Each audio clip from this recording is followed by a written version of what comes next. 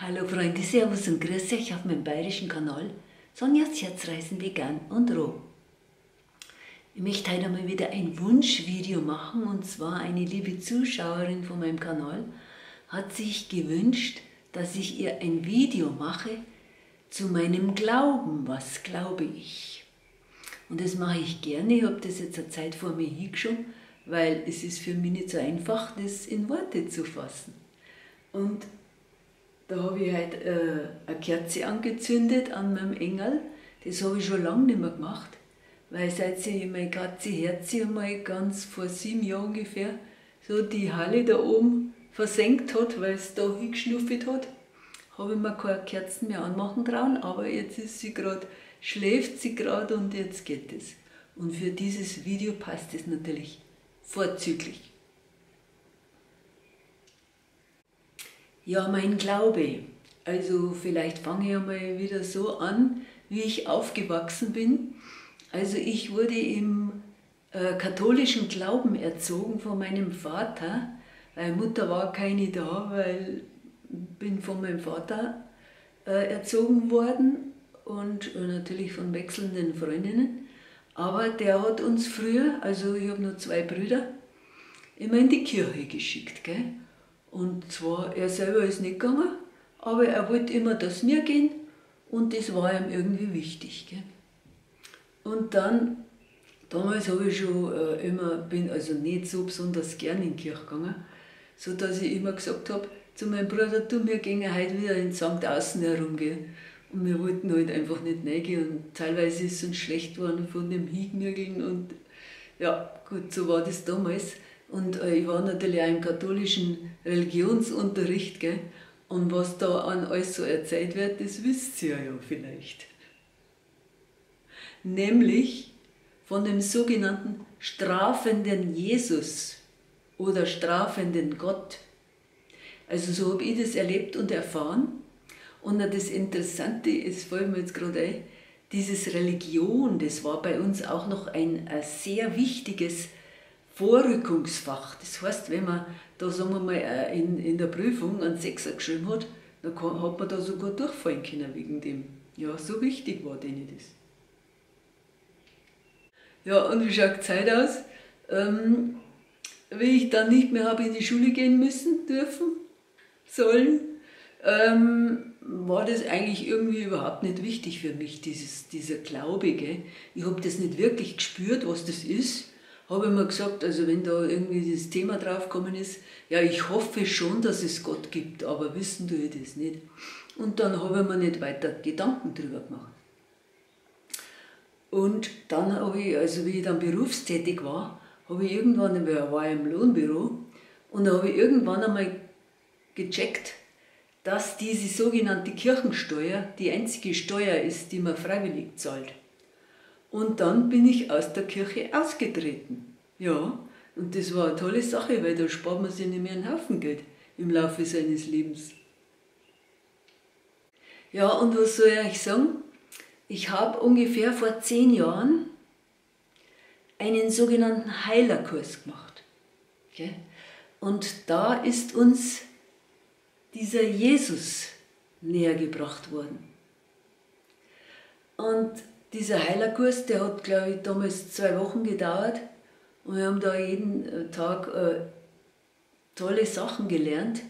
Und unter anderem, mir war das am Anfang gar nicht klar, äh, ist da versucht worden, also so wie das empfunden, gell, jeder hat das wahrscheinlich anders empfunden. Wir haben so, so ein Bild von dem Jesus, das ist jeden Tag an unserem Platz gelegen und wir haben das dann einige Zeit anschauen sollen.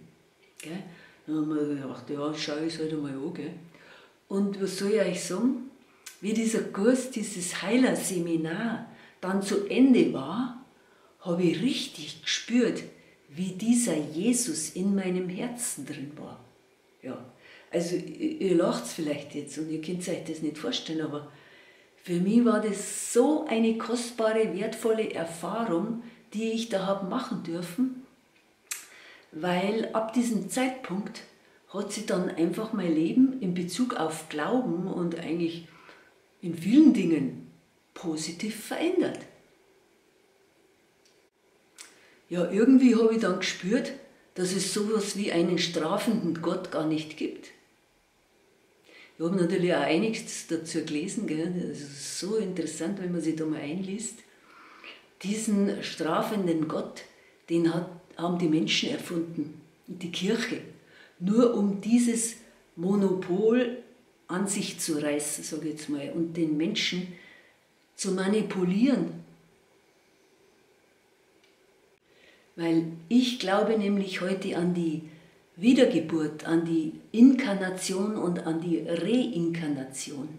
Und jetzt stellt euch mal vor, diese Kirche hat es ja ungefähr 500 Jahre nach Christi Geburt, die haben diesen, äh, davor haben die diesen Glauben gehabt und das stand auch in der Bibel, glaube ich. Und ähm, ja, die haben das einfach abgeschafft, weil das einfach nicht in ihr Konzept gepasst hat. Gell? Also ich glaube, das heißt, es ist mein Glaube, gell? das wollte ich euch noch sagen. Ähm, ich will euch auf gar keinen Fall sagen, was ihr glauben sollt. Das ist einfach nur meins. Das will ich euch einfach erzählen. Und ich denke, der Mensch ist eine Seele und hat einen Körper. Und diese Seele, die wohnt in dem Körper. Ich stelle mir da immer eine Blumenvase vor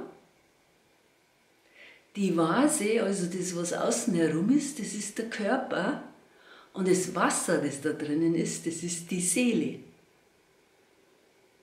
Und das ist für mich eine, eine ganz brauchbare Vorstellung, sodass ich mir das besser vorstellen kann. Und ich glaube, dass die Seele, also wenn der Körper stirbt, dann äh, geht nach einiger Zeit diese Seele, nach glaube ich drei Tagen oder so, aus dem Körper hinaus und inkarniert, sagt man da, zu einem anderen Zeitpunkt wieder in einen Körper. Und warum ist es so? Äh, mit jeder Inkarnation möchte die Seele Erfahrungen machen und Erfahrungen sammeln und äh, ihren Seelenweg finden ihre Lebensaufgabe finden. Und äh, ja, und mit jeder neuen Inkarnation haben wir die Chance, etwas Neues zu lernen und unserem Ziel immer näher zu kommen. Und wenn man so in die Natur schaut, jedes Jahr im Spätherbst legt sich die Natur schlafen alles vergeht und stirbt. Und im Frühling fängt alles wieder an zu wachsen. Und ähnlich ist es mit einer Seele, so glaube ich. Und das, äh, ja, oder Ebbe und Flut. Das Wasser geht und es kommt wieder. Und da gibt es einige Beispiele, die einfach in der Natur zu beobachten sind. Und warum soll das beim Menschen anders sein? Ich glaube da ganz fest dran. Und das hilft mir auch, Dinge besser zu verstehen, dieses, diese Art von Glauben. Damit geht es mir hunderttausendmal besser wie früher, wo ich an den strafenden Gott geglaubt habe. Der, äh, der ist da oben mit dem erhobenen Zeigefinger und sagt, du, du, du hast schon wieder was Böses gemacht eine Sünde begangen, der musste jetzt zum Beichten gehen. Also es ist schon eine, eine abartige Vorstellung, sowas finde ich. ja, und ich glaube, dass alle gewonnenen Erfahrungen in einem Leben die Seele einfach mitnimmt in die nächste Inkarnation und ja, und das nennt man seinen Charakter. Also ich denke, das bleibt alles erhalten sind alle guten Taten, alle in Anführungszeichen schlechten Taten, die bleiben erhalten und äh, manche Menschen nennen das Karma. Man nimmt es mit in die nächste Inkarnation oder in die nächste Wiedergeburt dieser Seele. Weil wenn das jetzt nicht so wäre, jetzt stellt euch vor, welchen Sinn hätte denn so ein Leben? mit diesen vielen Entbehrungen und, und was wir alles auf uns laden, wenn es nur auf ein Leben begrenzt ist. Das hätte ja gar keinen Sinn. Also, das ist meine Meinung. Ihr könnt es mir gern unten in die Kommentare schreiben, was ihr davon haltet. Also nochmal, was ist Reinkarnation für mich? Das ist mein Glaube an die Unsterblichkeit meiner Seele. Ja. Ja, für mich ist es auch oft gar nicht so einfach. Vielleicht wisst ihr ja, dass ich in einem Gospelchor singe.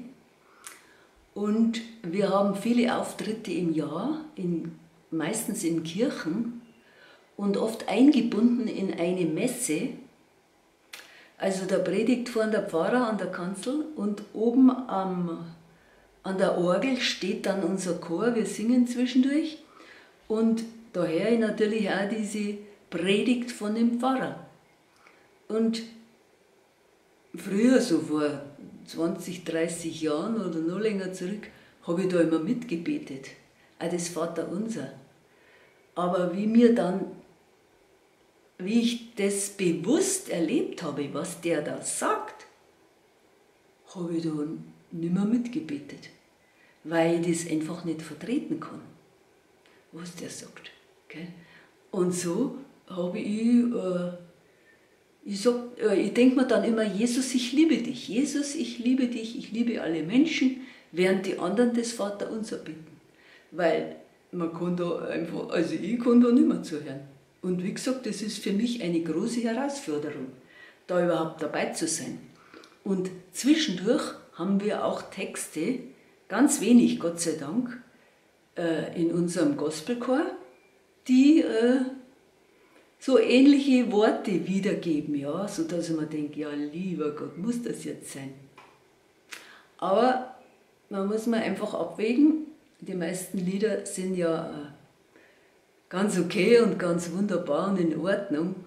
Und wenn es nur wenige sind, dann kann ich das schon mal hinnehmen. Gell? Und mein Herz, meine Seele weiß ja, dass das alles nicht stimmt, was wir da singen.